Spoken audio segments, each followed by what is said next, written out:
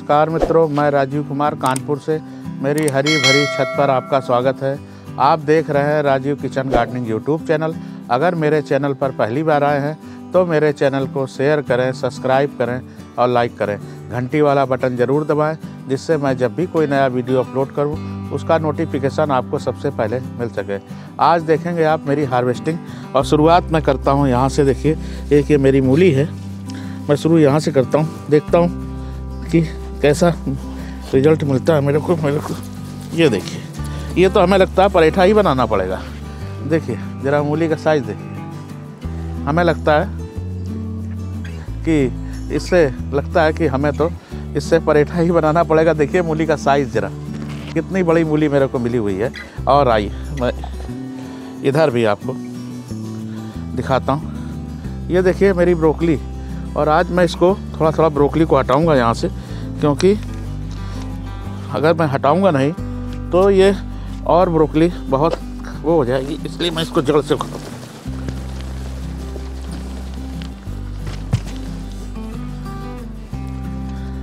मैंने इसको जड़ से उखाड़ा और इसका जो है डंठल मैं की मिट्टी छुड़ा देता हूँ। देखिए, मेरी कितनी भुरभुरी मिट्टी है कि ये देखिए इस तरह से निकली और मैं इसके पत्ते बाद में वहीं तोड़ूँगा। एक मैंने इससे निकाली और एक मैं ये भी निकाल लूँगा, क्योंकि ये भी बन के तैयार है। इसके अंदर जब पीला पीला सब होने लगे तो आप भी अपनी ब्रोकली को इस तरह से निकाल लें। ये देखिए, एक मैंने ये निकाली। इस तरह से। और ये अभी छोड़ दूँगा। इधर भी ये हेड बन रहे हैं। मैं इसको भी आज निकाल लेता हूँ और इतनी मैं करूँगा क्या एक साथ निकल रही है मेरी? ये देखिए। तो मैं आज इनको अपने मित्रों को ऑर्गेनिक ब्रोकली दूँगा। ये देखिए साइज़ ज़रा देखिए। ब्रोकली का साइज़ देखिए। इनको वहाँ रखते भी जाइए। और फिर इसके बाद में मैं इधर एक ये भी फूल लाई है इसको भी निकालूँगा।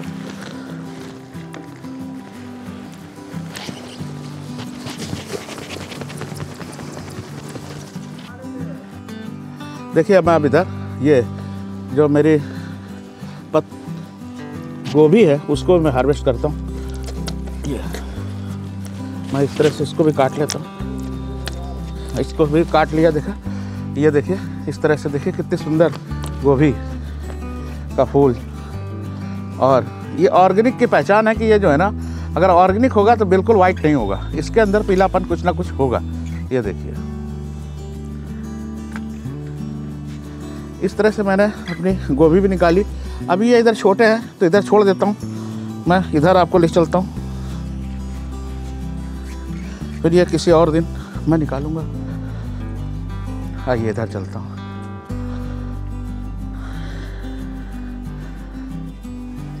इधर देखिए, अभी मैं ये अपना प्याज प्याज भी हार्वेस्ट करूँगा और ये मौसमी एक पक गई है, मैं उसको भी तोड़ता हूँ।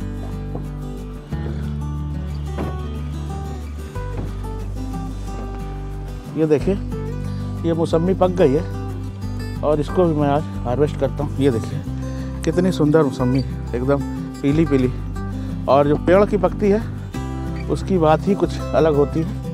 ये थोड़ा सा कच्चा है अभी। और देखिए, इसमें फूल भी आ रहे हैं। बहुत सारे इसके अंदर फूल भी बन रहे हैं। तो थोड़ा सा कम पीला था तो मैंने उसको छोड़ दिया।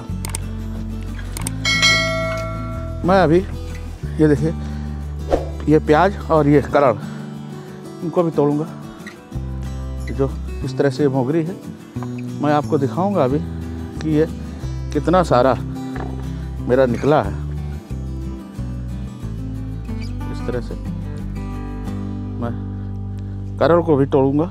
ये और ये प्याज। इस तरह से देखिए मैं प्याज को भी अभी हार्वेस्ट करूँगा। ये मेरा, ये वही प्याज है मेरा जो मैंने प्याज से लगाया था। इसका साग बनेगा।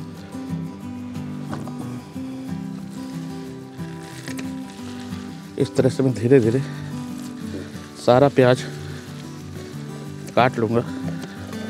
जड़ से नहीं उखाड़ना, जिससे ये फिर से ये प्याज जो है ना निकलेगा।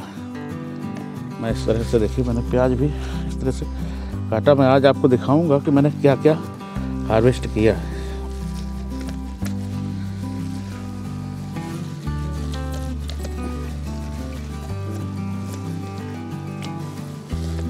आप भी अपने घर पे ये खाने के लिए इस तरह से प्याज लगा सकते हैं। ये देखिए आइए इधर, मैं करल भी अभी, ये जो है ना, ये, इस तरह से इसको भी, मोगरी कुछ लोग इसको बोलते हैं, इसको भी बहुत सारी लगी हुई है, आज मैं इसको भी हार्वेस्ट करूँगा।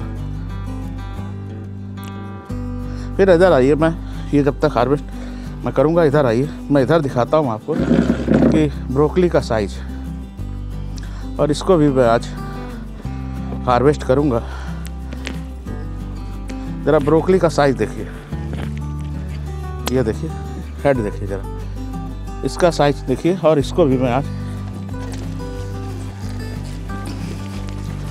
और मेरी मिट्टी देखिए कितनी भुरभुरी है। कि ऐसे हिलाते ही ये देखिए, ब्रोकली का साइज़ कितना ही अच्छी ब्रोकली है। और इसका वज़न मेरी समझ में कि और दिख रहा है आपको। मेरे हाथ में हेड नहीं आएगा, देखिए। ये पूरा हेड मेरे हाथ में नहीं आ रहा, इतना बड़ा हेड है कि मेरे हाथ पे नहीं आ रहा। आइए इधर मैं, आपको इधर भी ले चलता हूँ। कुछ टमाटर हार्वेस्ट करता हूँ। देखिए, कितना सारा टमाटर। जो लाल लाल टमाटर है, मैं उसी का हार्वेस्ट करूँगा।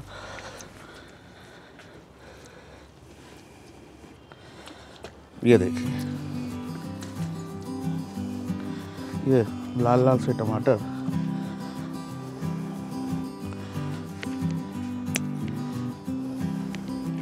जो थोड़े हरे भी है ना, उनको भी काट लूँगा। जो पीलापन ले रहे हैं, इनको भी काटना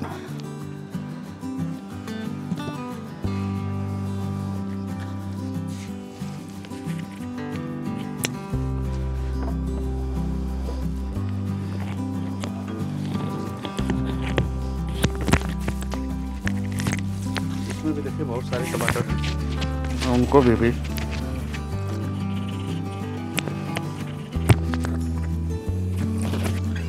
ये देखिए, इधर से मैं इनको तोड़ लेता हूँ।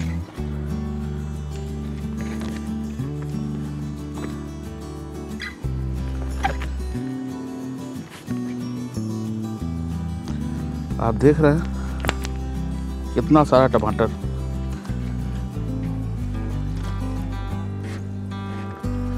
ये लो। ये कितना सारा टमाटर यहाँ से भी मिल रहा है। और मैं आपको उधर ले चलता हूँ। एक छप्पन कद्दू।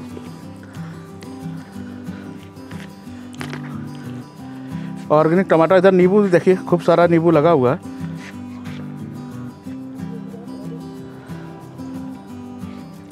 आइए, मैं आपको इधर भी ले आता हूँ। इधर भी छप्पन कद्दू का आज हार्वेस्ट करूँगा।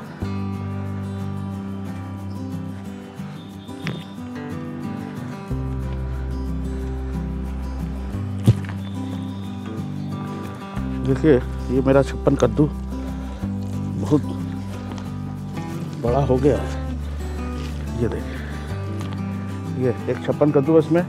पाँच छः छप्पन कद्दू और लगे हैं, ये देखिए।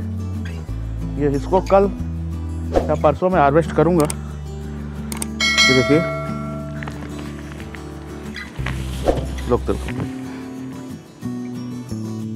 देखिए, मैं आज अपना ग्रे फ्रूट भी हार्वेस्ट करूँगा। और इसको मैं आपको खा के दिखाऊँगा कि कैसा है। ये और कितना पीला। ये और इसके अंदर भी एक और लगा हुआ है। छोटा सा पौधा है। अब मैं इसको, इस पौधे को कुछ दिन बाद जो 100 लीटर का ड्रम होता है 200 लीटर का, उसको हाफ़ काट के 100 लीटर में इसको लगाऊँगा, क्योंकि अब ये गमला इसके लिए छोटा पड़ने लगा। आइए मैं इसको अभी आपको खा के दिखाता हूँ, इसका स्वाद कैसा है। मैं अभी इतनी सब्ज़ियाँ हार्वेस्ट करके लेके आया हूँ, आप देख रहे हैं, जैसे बाज़ार लगी जैसे बाज़ार में सब्ज़ी वो उस तरह से सब्ज़ियाँ लगी मेरे छत से। इतनी सारी सब्ज़ियाँ टूटी हैं। ये है कि मैंने एक साथ कुछ फुल ये अपना ब्रोकली लगा दी थी तो एक साथ टूटी है, मगर इतनी ब्रोकली मैं क्या करूँगा? कुछ तो फ्रिज में रख लूँगा। बाकी जो है ना, अपने अड़ोस पड़ोस में, पड़ोसियों को दूँगा और मेरा रामा देवी परिवार वहाँ पे भी ले जाऊँगा, वहाँ भी दूँगा सबको, और ऑर्गेनिक चीज़ें। और देखिए, मैं ये ग्रेप फ्रूट जो है ना, मैं काटता हूँ आपके सामने। ये देखिए मैं इसको ऐसे। देखता हूँ, पहली बार मैं इसको काट रहा हूँ, कैसा निकलता। है काटने के बाद देखता हूँ। ये देखिए इस तरह से।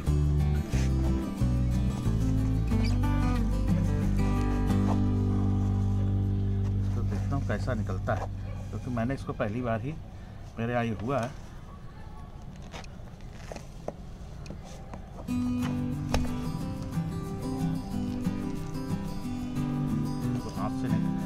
काटना पड़ेगा चाकू से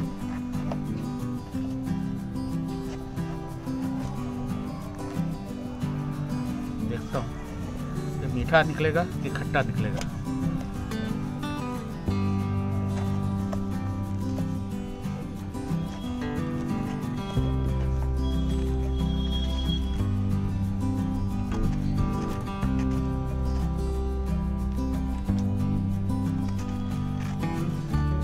अंदर छिलका ज़्यादा है।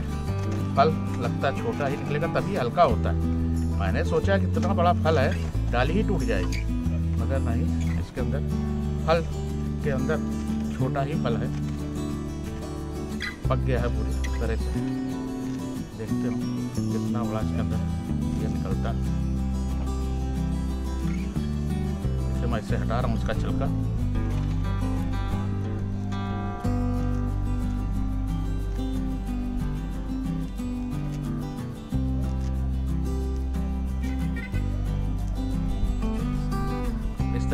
इसका देखिए। अच्छा इसके अंदर बिल्कुल संतरे की तरह फाँक है। जैसे संतरे में फाँक होती है, उसी तरह है।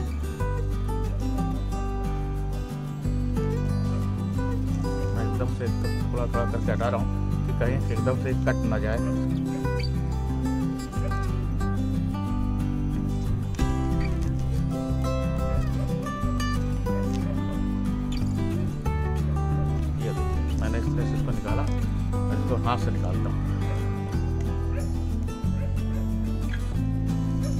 ये देखिए इस तरह से इसका, मैं इसको यहाँ रखता हूँ और थोड़ा सा एक कली निकाल के खा के आपको बताता हूँ कैसा है। इसका मैं थोड़ा सा ये निकाल देता हूँ। रस तो इसके अंदर बहुत है, मैं इसको देखिए, इस तरह से निकाल लेता हूँ।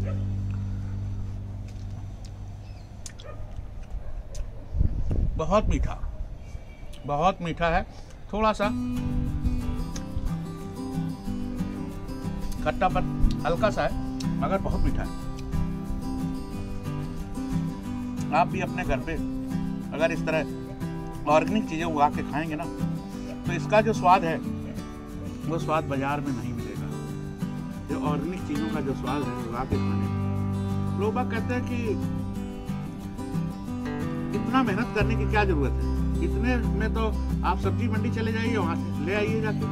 मगर नहीं, ये सब्ज़ी मंडी में थोड़ी मिलेगा। ये ऑर्गेनिक चीज़ें सब्ज़ी मंडी में नहीं मिलेंगी। इसका जो स्वाद है, वो जो गार्डनिंग करता है, वही जानता है। अपने हाथ से उगाई हुई चीज़ों का आनंद ही कुछ अलग है। देखिए, मैं इसको अभी खा लेता हूँ।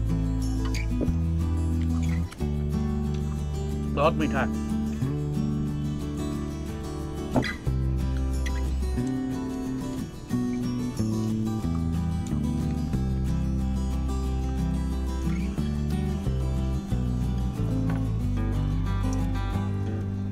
आपने ये देखा अभी?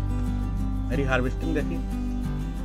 और ये जानकारी, अगर आपको अच्छी लगी हो, मेरी हार्वेस्टिंग अगर आपको अच्छी लगी हो तो मेरे चैनल को शेयर करें सब्सक्राइब करें और लाइक करें।